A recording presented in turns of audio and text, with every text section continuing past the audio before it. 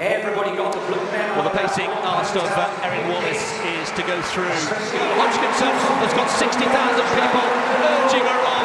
The expectations are high. She had to pull out last year with illness, but she's here in fine form, but she still hasn't shaken off Reekie just yet. Reekie, who has a really strong finish, but Hodgkinson going through the gears. Let's keep an eye on the clock. She looks as though she's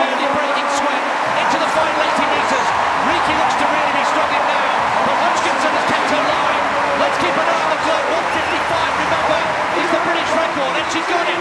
155. Oh, it's a new world lead. 154.61. She's beaten her own British record. Job done. Keely Hodgkinson. And she will get on the Eurostar or on the plane, whatever her mode of transport, and head to Paris.